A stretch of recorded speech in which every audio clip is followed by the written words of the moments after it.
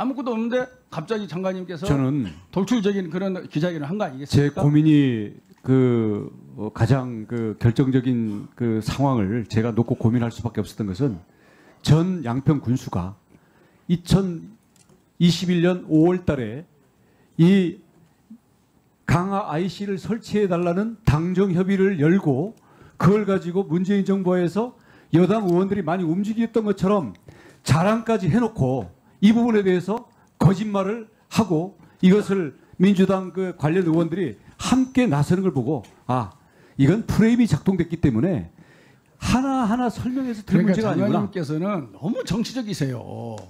국토 행정을 하는 자리가 장관입니다. 국토부 장관이에요.